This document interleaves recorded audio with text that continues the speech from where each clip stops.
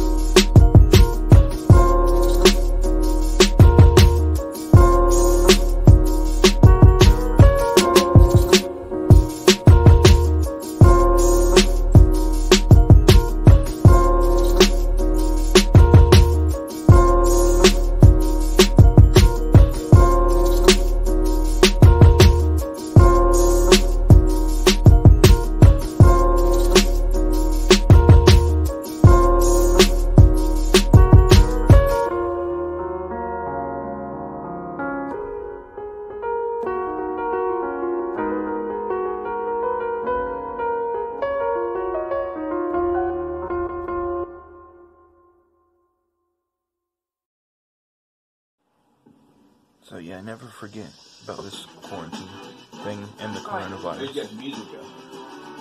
Goodbye. I know. So yeah, this is what I've been doing in quarantine. Hope you guys enjoyed the video. No, no, we're not doing Pretty that. much it. With the next generation. Watching Pet Boys Fly. See you later. right, man.